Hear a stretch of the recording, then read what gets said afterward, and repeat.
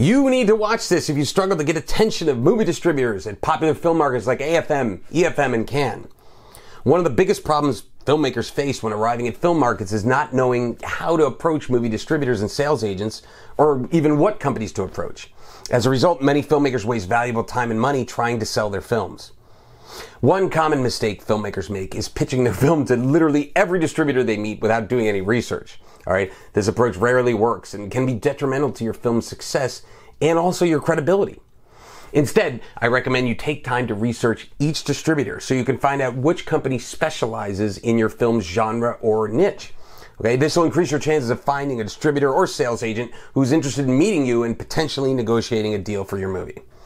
Let me give you an example if you have a horror film, you would not want to pitch it to a distributor who only specializes in romantic comedies or faith-based movies. You'd want to pitch it to a distributor with a track record of success in dealing with horror.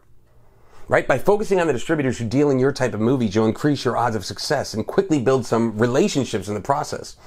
And assuming your movie's good, hopefully, you might even walk away with an awesome distribution deal. Before attending any film market, research distributors who specialize in your film genre or niche. Look at their past sales and reviews from other filmmakers to ensure they're a good fit for your film. All right, there you have it. Some tips on how to approach movie distributors at film markets.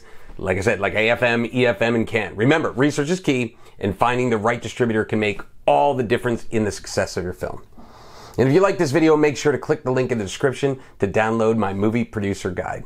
Hello, thank you for watching. If you enjoyed this video, please like or comment below. You can also subscribe to the YouTube channel. If you ask a question in the comments, I will try to answer it as soon as I possibly can. But again, thank you for watching and I hope you enjoy these videos.